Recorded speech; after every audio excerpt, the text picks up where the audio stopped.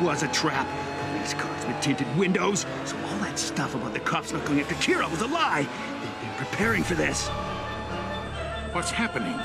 I thought we told the police not to get involved with the arrest. The only one who would do this is... Yes, you must be right.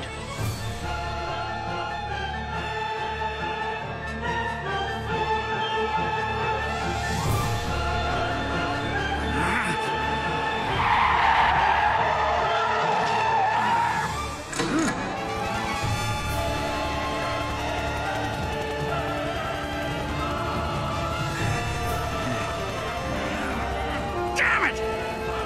That way. Stop right there.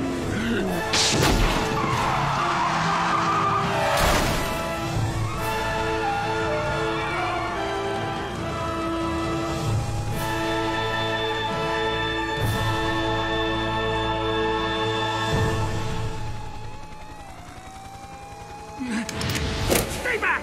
Stay back or I'll shoot, I swear!